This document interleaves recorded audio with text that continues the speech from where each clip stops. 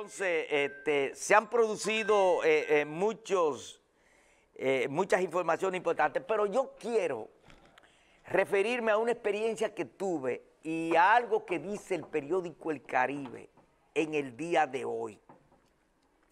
El editorial del periódico El Caribe sobre la plaga del tránsito y la situación, porque tuve una experiencia que cuando yo le hable ustedes van a quedar perplejos.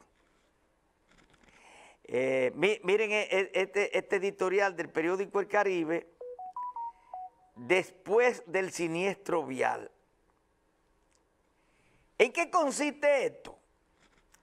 Y la experiencia que yo tuve dice que el hospital, atiendan esto y préstenle atención, que el hospital traumatológico Ney Arias Lora invierta más del 65% de su, de su presupuesto en personas que llegan por accidentes de tránsito y que en lo que va de año la cantidad de accidentados haya subido del 50 al 80%, la mayoría de conductores de vehículos de dos ruedas es para acrecentar la preocupación ante esta real pandemia con la que el país aparentemente ha decidido convivir y peor aún, permanece indiferente. Estas estadísticas son apenas como muestra la de un solo centro de salud, pero nos encaminamos a superar las más de 3.000 muertes confirmadas y más de 10 mil lesionados por accidentes de tránsito en 2022. O sea que vamos a superar en este 2023 esa cifra.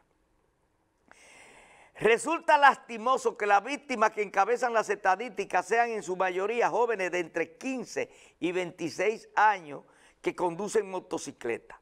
El séptimo foro de seguridad vial, celebrado la, la pasada semana, ha sido bastante revelador y sirvió para recordar que pese a algunas contadas iniciativas para disminuir los accidentes de tránsito, resultan insuficientes para sacarnos del primer lugar del mundo.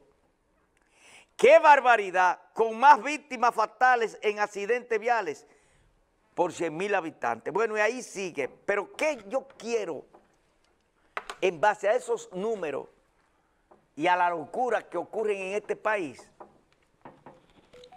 Bueno, miren, amigos televidentes, yo tuve una experiencia este fin de semana. Yo estuve en la isla Saona, que en una ocasión fuimos el chino y yo juntos. Volví, volví.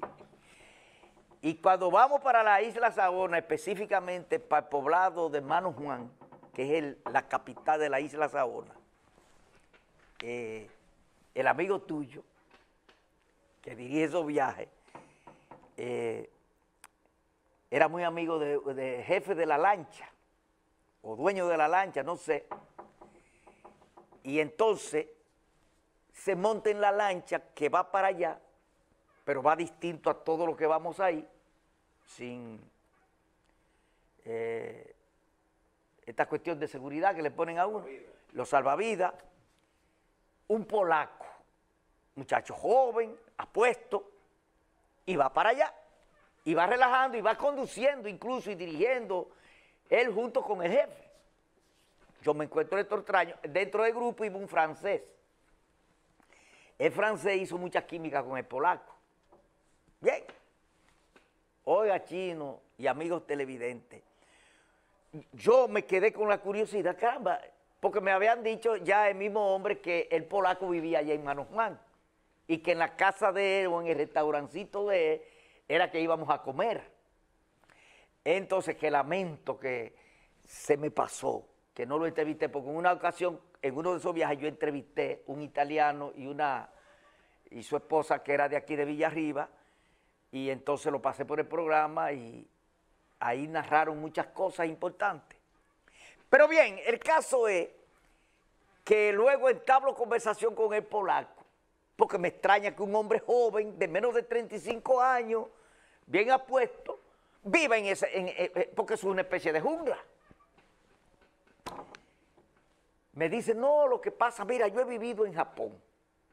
En esta corta edad yo he vivido en Japón, en Corea del Sur, en Irán, en Inglaterra y en Francia. Y naturalmente soy de Polonia. Y el país que más me gusta y donde yo quiero quedarme, yo no sé si duraré 40 años más, es en República Dominicana, es aquí. Y coño, pero ¿qué explicación tiene esa? Amigo televidente, ¿tú sabes lo que me dijo ese polaco? No, lo que pasa es que aquí es donde yo encuentro que tengo más libertad. Aquí es donde yo me siento más libre. Digo, ¿cómo más libre?